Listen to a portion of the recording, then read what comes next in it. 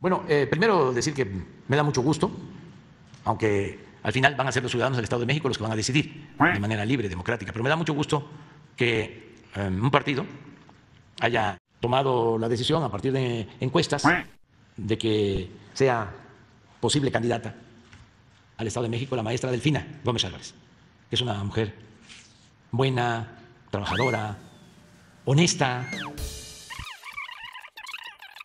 Me gustaría que los adversarios, y sobre todo los que la atacan, estos de Claudio X González, que fueran a Texcoco y que vieran dónde vive la maestra, su casa.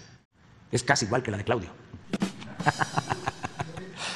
Entonces, es secretaria de, Educación y tiene que dejar ya la secretaría. Voy a hablar con ella para que ya se inicie el proceso de entrega-recepción y vamos a, elegir, a nombrar a una mujer. Ahora que regrese, porque hoy voy a iniciar una gira, eh, entonces, como puede ser la semana próxima, ya hablo con ella y ya yo les puedo comentar quién este, va a ocuparse de la Secretaría. Me gustó mucho también la actitud de Higinio, de Horacio, también de Vilchis, porque eh, todos, con mucho respeto a la maestra, aceptando eh, el proceso. Pero repito, van a ser los ciudadanos del Estado de México los que van a decir